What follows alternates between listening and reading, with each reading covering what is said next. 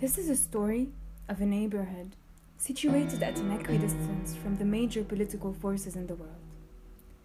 This is a story of a neighborhood where political and religious tension shed blood on the streets, where fear had a face, a weapon, a signal, where the rules of governance and academic literature have lost all sense. This exhibition portrays several snapshots that I have taken in the neighborhood of Bab el in Tripoli around a year ago. To contextualize it, in recent years, Tripoli has become the poorest city in Lebanon, which was largely due to the marginalizing national urban policies that centered around the capital Beirut and to the political dynamics that exist within Tripoli.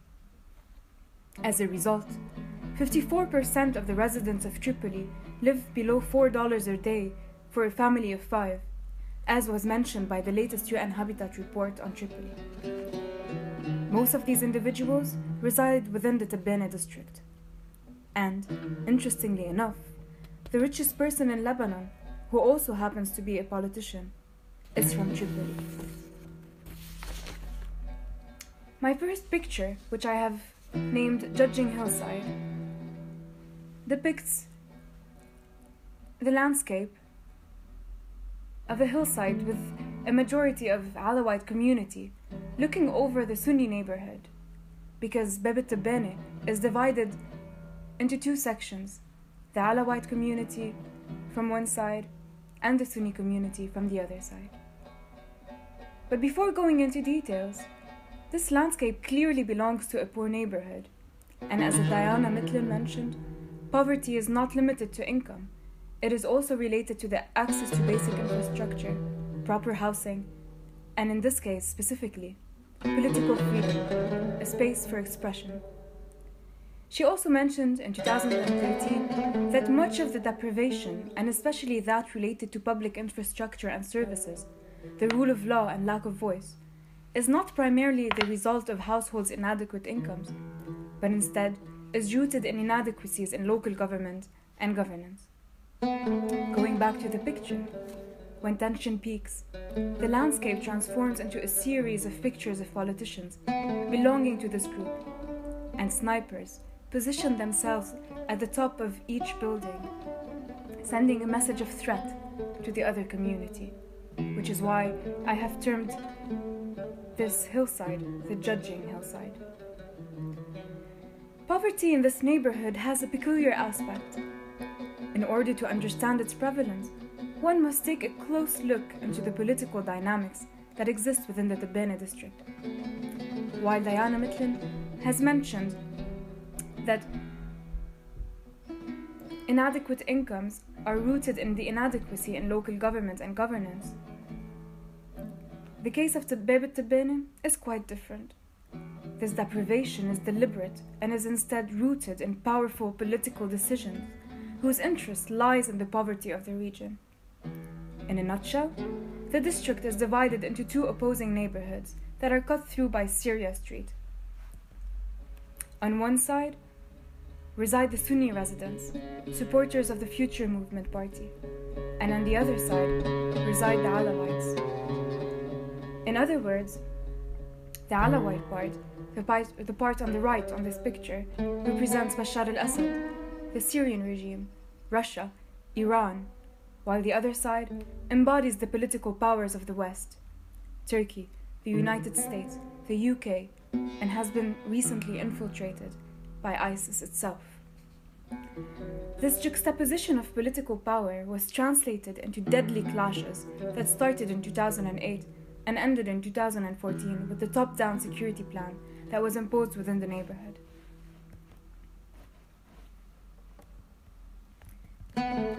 As for the picture itself, it represents how tensions are translated into space through invisible protagonists and what I like to call the politics of design. Blue is the color of the Sunni party in Tripoli, and as you, as you can see, the whole facade of the Sunni part is painted in blue, which means that post war reconstruction was still tainted with political tension and threat messages. Also, the street, which is ideally called Syria Street, symbolically divides the area in two. It is the green line of the Tebbaneh district that has witnessed the deadliest clashes in the neighborhood. However, while the space might repel in moments of tension, in moments of political clashes, the street itself assembles people from a social and economic perspective, since after all, merchants have gathered on the street and created souks, and families from each district marry each other. And often you can witness the wedding happening on the street itself. However, the local government did not implement any development plan or strategic plan in the area in order to alleviate poverty, increase the level of education, or integrate the residents from the two opposing groups into Tripoli itself, which would have, without a doubt, decreased the political and religious tensions within the neighborhood. Instead, while walking in the streets of Beit the predominant atmosphere is at the edge of explosion. War is hiding behind fragile doors, as if it would take a political power a clap of fingers to unleash its tension into the streets again. Politicians play the card of identity politics, linking politics to religious belonging, also taking advantage of the predominant poverty in the area. Therefore, I have named my exhibition The Rebirth of Identities in Contested Landscapes, the death of individual identity and its reincarnation into a redundant molecule of the overall political atmosphere of the area. A landscape torn apart by competing powers, by the dynamic interplay of politics.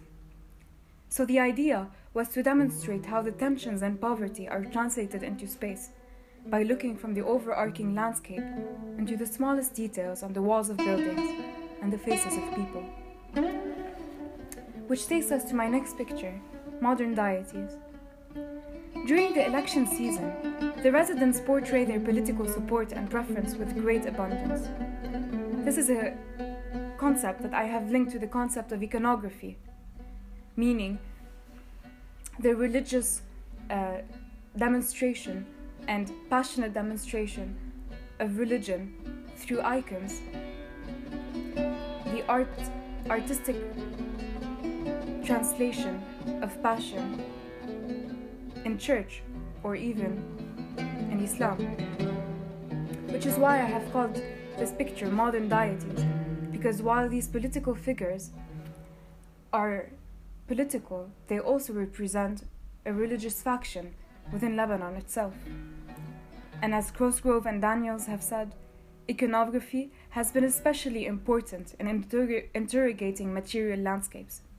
It synthesizes the past, expresses the present, and signals future directions, which is exactly the case in this picture.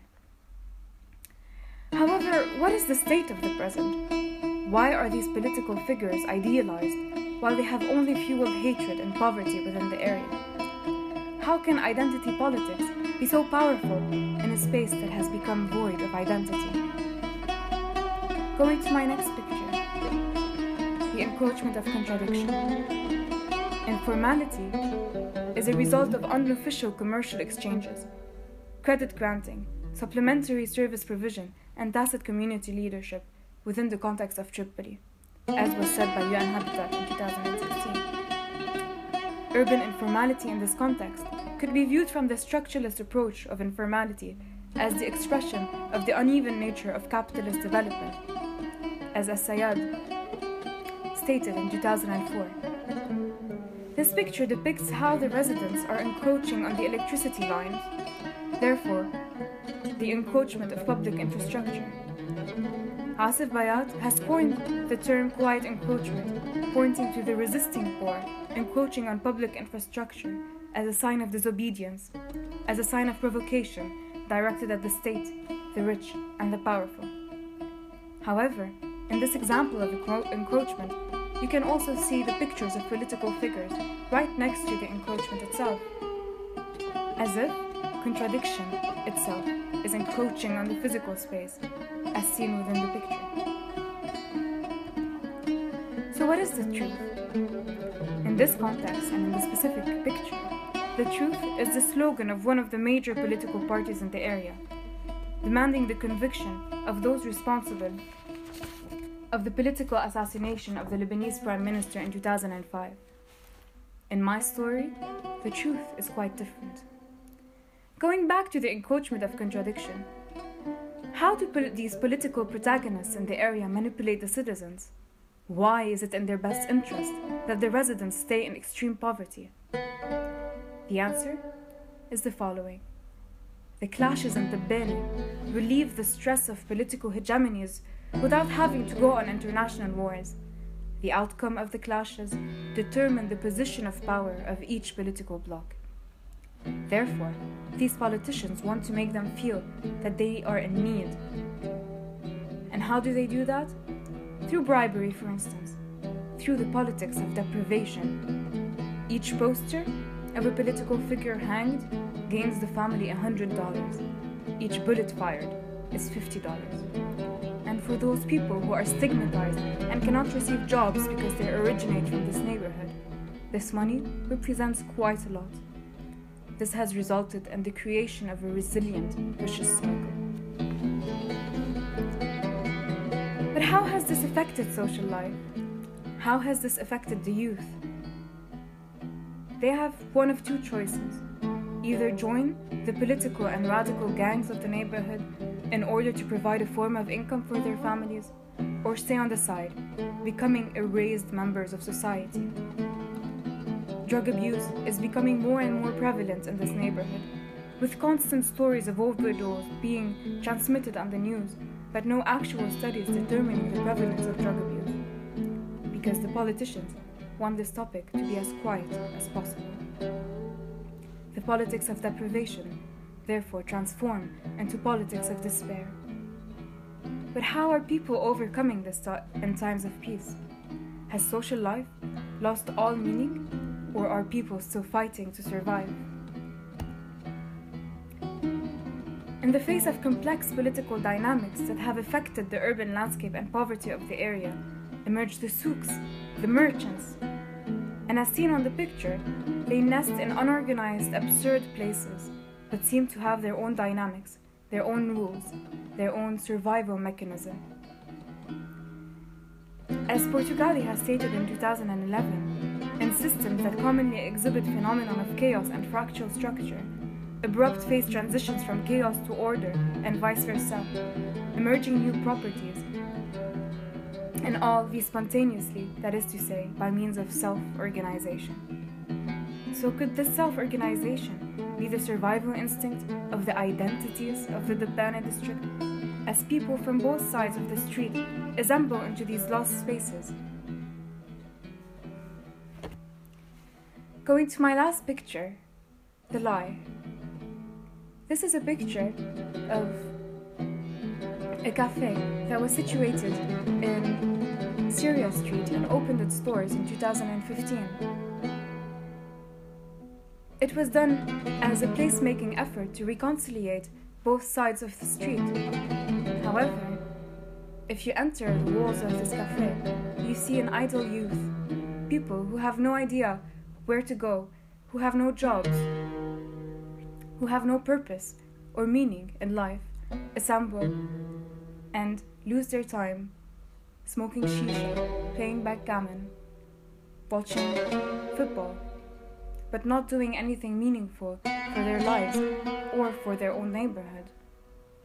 And therefore, these placemaking efforts are losing all meaning in the face of the political dynamics that exist within the area.